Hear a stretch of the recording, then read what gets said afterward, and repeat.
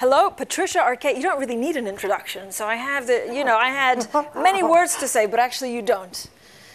You have an NGO. You focus a lot of your energy on climate change and women. And a lot of people here and a lot of people watching us will not know the link between the two. Why is that your focus? Yes, so my NGO is called givelove.org, and we do uh, ecological sanitation in the developing world. A lot of people don't think, you know, that sanitation really crosses many sectors that impact women.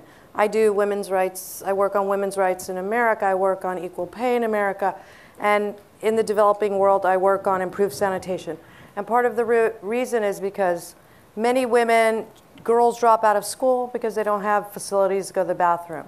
Uh, they don't have places to deal with their menstrual flow. Women don't have security because they're being sexually assaulted because they have to go to community toilets. Many women say they can't even go to the bathroom at night. Uh, last, our last trip, an elderly woman, we, we uh, piloted a household pilot toilet and she had it and she said, now I don't have to go outside. This is in the middle of a manyatta in the middle of nowhere. Now I don't have to go outside the stick uh, fence where I can get hit on the head and raped at night. And I'm looking at her and thinking, she's 70 years old. When do you get to stop worrying about being raped? When does that day come? So the crossover between climate change and sanitation is as we see climate change come, we know that women, uh, the majority of women, say in Africa, uh, 75 to 90 percent of the of the agriculture work is done by women, and they have to also collect the firewood and the, the fuel for fire. They also have to collect the water. As water dries up, these resources come further and further away from them. Um, the lack of sanitation is the number one pollutant to water. So as we look at climate change and having less water, we're going to also be looking at the impact on the water sources we do have. So women are going to have to go further and further. And a lot of people don't know that the mega slums that we find all around the world are built on floodplains. And intentionally. There's a reason the rich people aren't claiming that land back. It's because it's all floodplain. So when you have torrential rains and this, this, these different cycles of, of weather patterns that we're seeing that are very unstable, uh, obviously women are going to be impacted uh, in these mega slums. And most yeah. people don't know that, that even in disasters, women have a higher rate of dying from hurricanes, from flooding. Now, in certain areas where you're economically equal, uh, where women can have an education, where women do own property, things like that, it's more equal, the males and females that die. But in much of the world, more women die from climate activity even today than they will in the future. And we know food insecurity is a breeding ground for uh, sexual trafficking. And this is going to be another problem. So part of my NGO, what we do, we improve sanitation, we protect water resources, we help girls stay in school, and we end up with uh, compost, so you can amend soil. These are agriculture people. You know, if you amend the soil, the water you get, you can maintain. You can draw down carbon, which is part of what we need to do for climate change. So that's why I'm very passionate about this how these things overlap one another and impact one another. But so if a woman is empowered economically, is she a, a better force of good? Is she a, a, stronger force of change within her community, including you know these agricultural supply chains that you're talking about, but also household spending and behavior within the society? Well, women do three quarters of the non-paid work, and so the more empowered the woman is, obviously those around her are, and and the safer choices that she gets to make. Uh, you know, it's very difficult when when you have no when you have no standing, when your society will give you no standing whatsoever. You may need to go to the doctor, but if somebody doesn't say, yeah, you, you can spend some of our money on you going to the doctor, you're not going. It's not going to happen for you. And it's really, really heartbreaking the situation women are in it, how, how do you change that? So through your NGO, but how do people do people need to lobby governments? Do people need to lobby their companies to do more? Well, I have to say, like looking at NGOs since I've been in this sector since 2010, the first thing I started to see was all of a sudden business, and I'm going to call BS on this, everyone.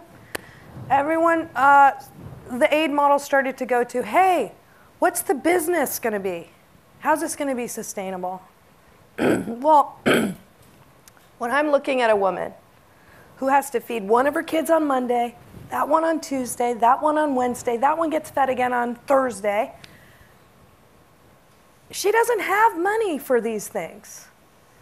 We're, we're using our, our aid money as a country to put into healthcare. Three, three quarters of all hospital beds in Africa are diarrheal diseases.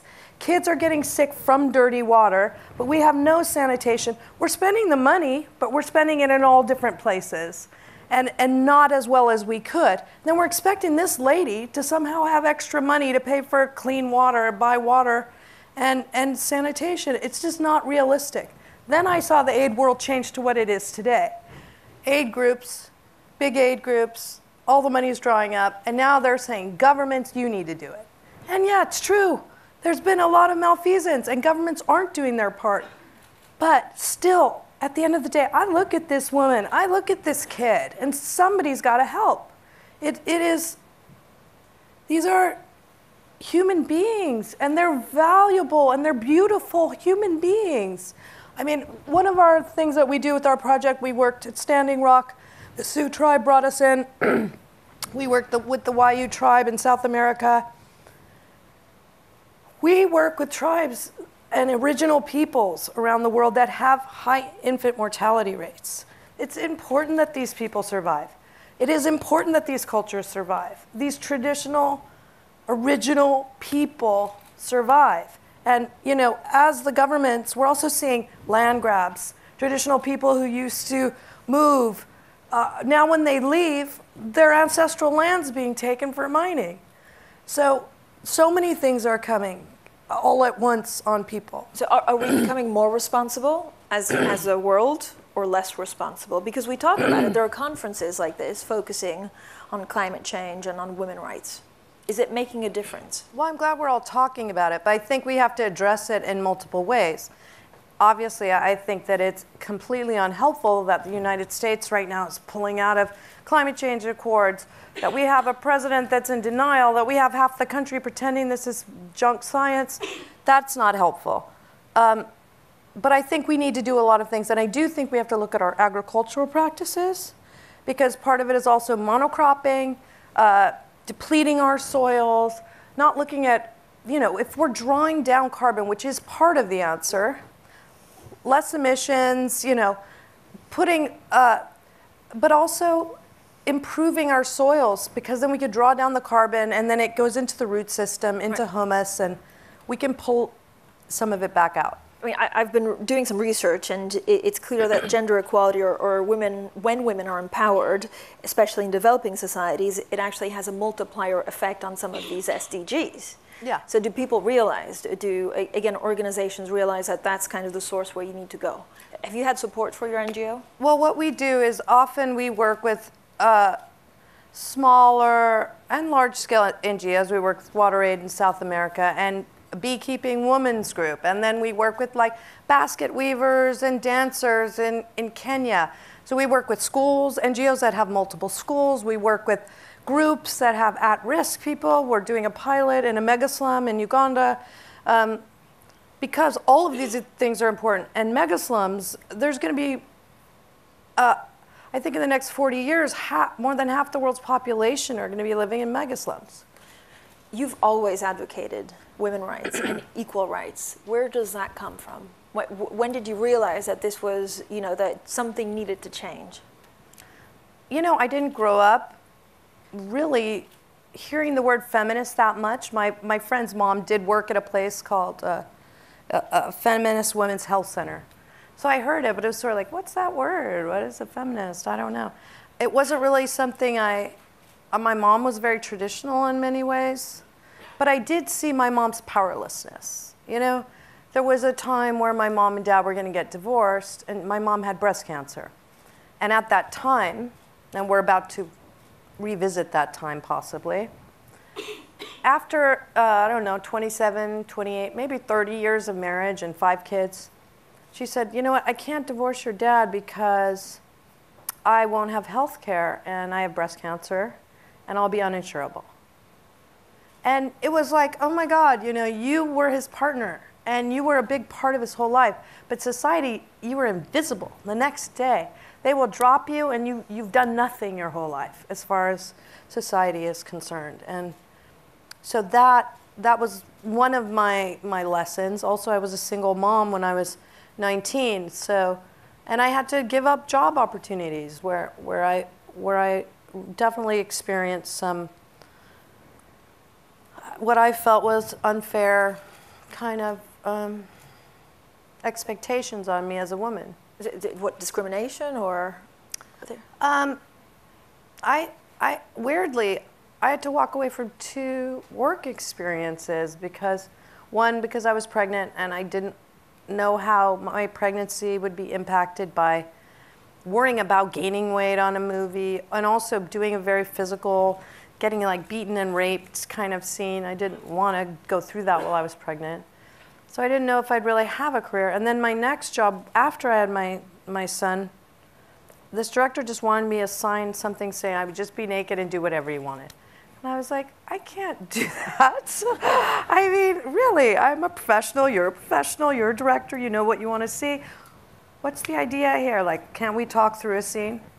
No, I just want you to sign something yeah, I'm not doing that. and that was hard because I really didn't know where I was buying diapers.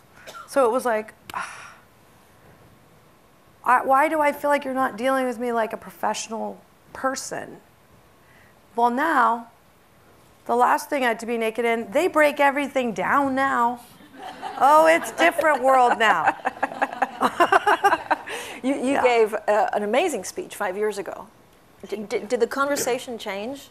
when you when you had that acceptance speech did you get support did people say gosh i wish i did that well it was really scary. It was really scary because i knew it was like this subconscious thing that you're unspoken thing you're not supposed to be political. But you know i was winning this award for this woman whose life could have been really different. She was the primary breadwinner for these kids and caretaker. Had she made a full dollar um, so i knew i wanted to do that. But great things came of it. Salesforce did a gender audit because two of the women from Salesforce saw that speak, speech and went into Mark Benioff and said, Hey, are we getting paid fairly? he said, Yeah, I'm sure you guys are. Are you really sure?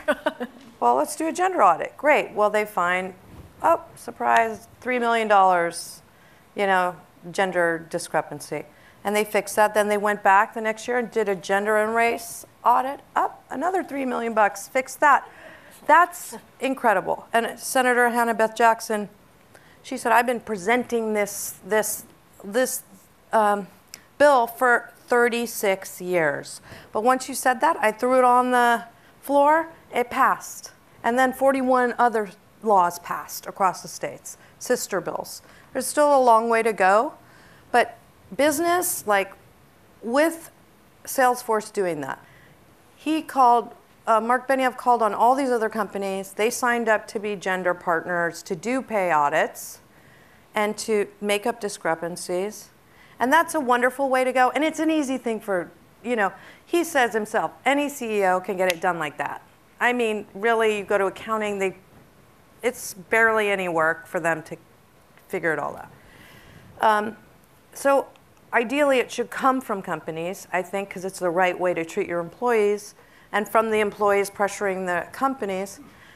But even Iceland, which has been committed to equal pay more than any other government and has had laws on the books for decades, they said at this point, if you, you have to do a gender audit, and if you find a discrepancy, we are going to, and you don't fix it in a short period of time, we will penalize you. And I think that's where we have to get to, because many companies don't want to do it. Did, did you get backlash after that speech? Did you almost not make that speech? Well, I got some backlash, but I would have not not made that speech because the, I wanted to help people, and I was part of something where all these activists had been doing this work forever. It wasn't like I did this. No, but I just opened the door for the activists and the leaders and the lawmakers to be heard and the employees to be heard a little more. So I got to be a part of something that's meaningful to me. You, you testified two weeks ago in the US Congress in support of the Equal Rights Amendment. Why do we need to do that in 2019? hmm, what a question.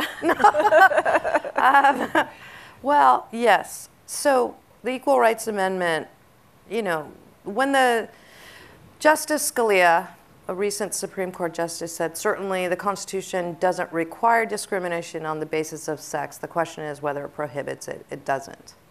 So if you have a Supreme Court justice like him, they interpret the Constitution from the time it was written. The time it was written, black women were slaves, and, and white women were considered the chattel or property of their husband or their father. So he's not lying when he says that's how he interprets the Constitution and will make legal decisions from his concept of the Constitution.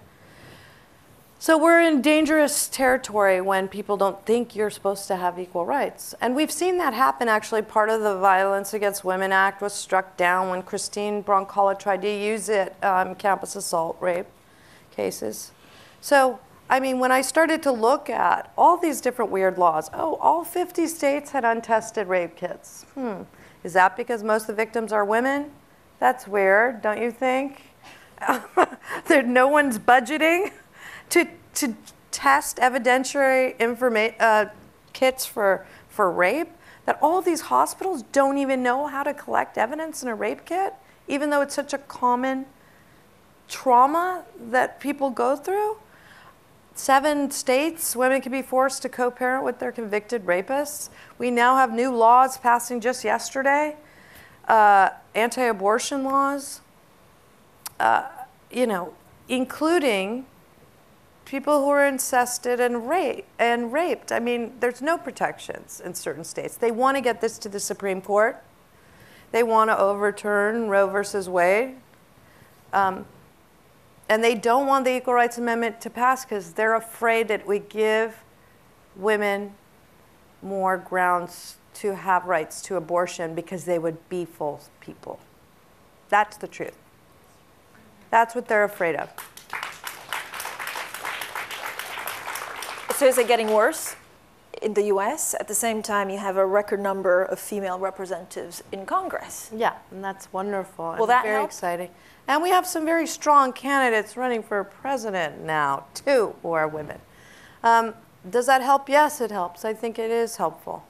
Um, what would you change if you had to change one thing right now in the US or, or on how women, I don't know if it was. Oh boy. I didn't you say know, one it's person. like that genie thing. Like you have three wishes. Okay, one, okay, I wish one. for more wishes. uh, yeah, I don't is know. It, is, Can is I there a magic? Is there something that so many things? I mean, I guess okay. I, in this conversation, I would say, you know, to deal with all civil rights issues in America, make everything really just and fair. Who's getting it right? Is there a, is there a part of the world? Is there someone? Is there one person that you look up to? Well, for equal pay, I really like the leadership of Iceland. I mean, they're really, really committed to being the first nation on earth that pay women equally. And I think that's a really important, powerful thing. Have you ever had to pay for or fight for your pay? Or if I've walked away from jobs. Weirdly, I never really thought of my own equal pay before I gave that because I always just felt like I'm so lucky. I'm an actor. Oh my God, I'm living the dream. I can't believe it. Now, for years, I'd heard this subconscious kind of thing. Well, they got to hire the guy first. Well, there's no money left because they paid the guy, you know. But that was kind of normal. Like, I really internalized like that was just normal the way it is, you know? I mean, even on recent jobs, you know, that was the situation. Uh, Has changed now? Has something changed in you? Has anything changed? Has anything Not changed? Not so much. I mean, honestly, I like I was on. We had a whole different cast for Escape at Dannemora, but then the guy dropped out. So the move, the whole thing almost fell apart. Didn't matter that I was the lead, and it didn't matter that I'd won an Oscar. Didn't matter that I was already there. I still needed to wait for a guy, the guy, with, and then the guy got paid twice what I got paid. And I'm not mad at him, but I mean, it it doesn't matter. If I had a TV show that was on 18 million people watching every week, right? Can you imagine if that was a movie showing and you had 18 million people per viewing? That would be the biggest box office movie on earth. Well, not on earth, okay, but you know what I'm saying. It would be a huge hit. So I don't know who's modulating these things or deciding what value is. It's kind of crazy, but yeah, I still feel very lucky, and I feel, still feel grateful. But um, Have you ever had a, a male actor say, "Look, by the way, I'm sorry," or or you know, is it up to to the guys? I, I really weirdly don't really blame the guys. I think it's more about agents. Because I, and I've said that to my whole agency. All you guys need to get it together. You have internalized this subconscious thing, and you have not been working hard enough for your female clients. I mean, you know, it happened with the Michelle Williams situation, right? He was paid like 1,500 times more than her, right, for these reshoots. They had the same agency what's going on here? what is happening here? So, yeah, I mean, I think we're all, I know I was raised with a lot of internalized misogyny or internalized sort of the way things are. Like the status quo was just a part of my understanding. What, what advice do you give to your kids on this? Do you? Huh, you know what? I think somebody had said to me once, she had five kids, she said, this one is nothing like this one. So I think you have to be a linguist to be a parent. You know, my advice for my son is totally different than my advice for my daughter. I think not so much for their gender, although I catch myself, you know, being sexist all the time with them, um, but more who they are as people, you know what's your strength? Hey, to my daughter, I'm like, you shouldn't be as hard on yourself. And my son, I'm like, you need to be a little harder on yourself. Um, Patricia Arquette, what's the best piece of advice you've ever been given on how to deal with either inequality or, or gender issues or anything that's just unjust? you know, my mom used to say to me all the time first thing in the morning when you get up, before you get out of bed or do anything, just close your eyes and get quiet and ask God, who is Patricia? Like, ask who your own self is. Feel your own self. And the quality of your nature, what is that? And I think because my mom kind of raised me and all of us to kind of be connected to who we are, that guided me to have my own voice, you know. So I think my mom, you know, was my greatest uh, teacher. Patricia Arquette, thank you so much. Thank you.